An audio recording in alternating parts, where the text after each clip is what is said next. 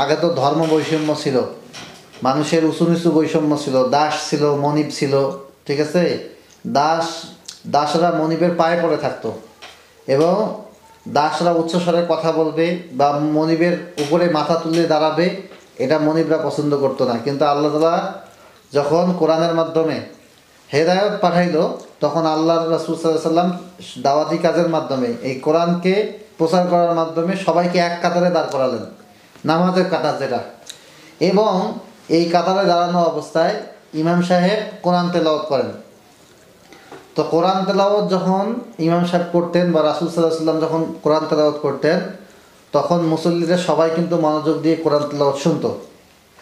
তো যেহেতু সাহাবিদের ভাষা, মাতৃভাষা ছিল আরবি, সেহেতু কোরআনের ভাষাগুলো ওনারা বুঝতেন।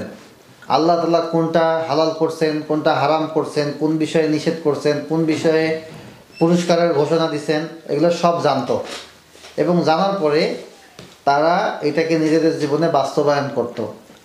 তো সালাদ সর্বস্থানে যদি প্রতিষ্ঠিত হয় এবং মানুষ যদি বুঝে বুঝে নামাজ আদায় করে, বুঝে বুঝে কোরআন করে, তাহলে সেই নামাজ মানুষকে আস্তে আস্তে পাপ থেকে দূরে রাখবে।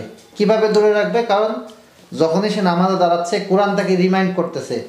সে এক এক সময় এক এক জায়গা থেকে তেলাওয়াত করতেছে।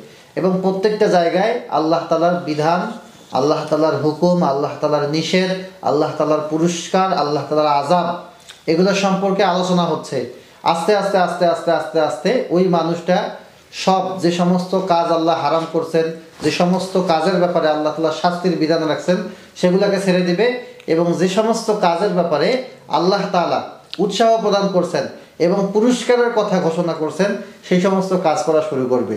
এভাবেই সালাত মানুষকে আস্তে আস্তে আস্তে আস্তে গুমরাহি থেকে, আস্তে আস্তে আস্তে আস্তে জাহিলিয়াত থেকে, আস্তে আস্তে আস্তে আস্তে পাপ কাজ থেকে, অন্যায় থেকে বিরত রেখে ধীরে ধীরে ধীরে ধীরে আল্লাহওয়ালা বানায় দেবে এবং দিনদার বানায় দেবে এবং সে পরিপূর্ণ মুমিন হবে। আর একজন মুমিন তখন কোনো অন্যায় কাজ ফায়সা কাজ, খারাপ কাজ করবে না। এটাই কিন্তু বাস্তব কথা এটাই হচ্ছে হক কথা এটাই হচ্ছে সত্যি কথা। উদ্দেশ্য কি? নামাজের উদ্দেশ্য কি? নামাজের উদ্দেশ্য তো আল্লাহ তালাই বলছেন ইন্না সলাত তানহা আনিল ফাহশাই ওয়াল মুনকার। নামাজ মানুষকে অন্যায় পাপাচার থেকে বিরত রাখবে। তা মানুষ যদি অন্যায় পাপাচার থেকে বিরত থাকে তাহলেই তো হয়ে গেল। তাহলে আর মানুষের সঙ্গে মারপিট লাগতেছে না ঝগড়াঝাটি করা লাগতেছে না আইন প্রণয়ন লাগতেছে না। কিন্তু তারপরেও যারা বক্র তারপরেও যারা মুখ ফিরিয়ে নেয় তারপরেও যারা ধর্ম থেকে বিমুখ হয়, তারপরেও যারা সালাদ সালাদ ছেড়ে দেয়, তার জন্য আল্লাহ তালা যে শাস্তির বিধান রাখছেন, সমস্ত মানুষ মিলে সেই শাস্তিকে বাস্তবায়ন করবে। সেই সমস্ত মানুষদেরকে পানিশমেন্ট করবে।